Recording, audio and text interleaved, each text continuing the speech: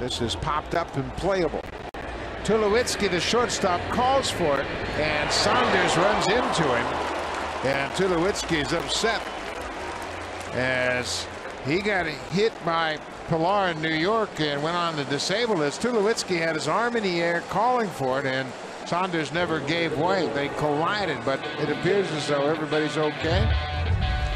Tulowitzki hollering and Saunders hollering as well in the left fielder and shortstop collide.